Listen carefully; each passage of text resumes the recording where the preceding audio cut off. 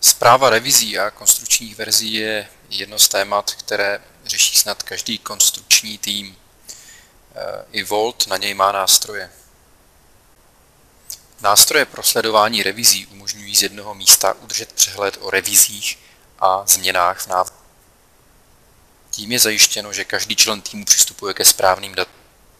Funkce pro zprávu revizí umožňují zachytit a vidět informace o revizi přímo v prostředí výkresu.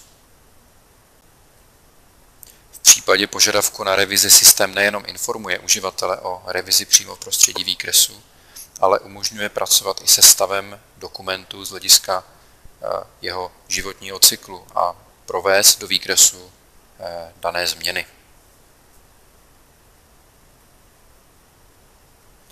Uživatel se může soustředit na design a Volt za něj hlídá změny.